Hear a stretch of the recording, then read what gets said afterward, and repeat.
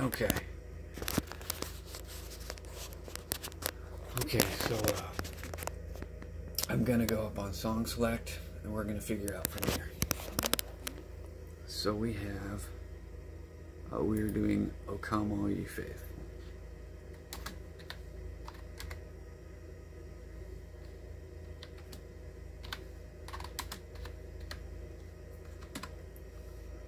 Come all ye faithful. Now, I've already, I've already played the song.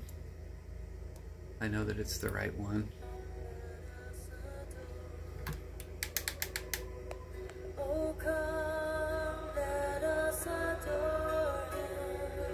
So that's the right song. I'm going to go over to the chord sheet and check out the chords. Now, uh, the key of E major.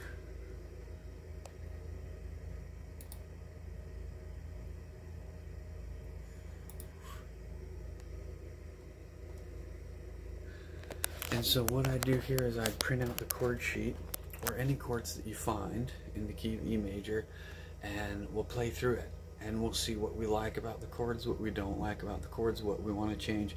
Now I already know what I want to change, uh, but for purposes of teaching other worship leaders, the method that we use, the best method is to take what other people have done and then improve it. So uh, yeah, I'll just come up here and I'll print it. Print it. Um, now this thing defaults to double-sided. We want, we want not, not, not on both sides. We want uh, to see both pages at this, all of the pages at the same time on the piano. We'll, we'll set it up across the piano, so we want uh, print on one side. Okay.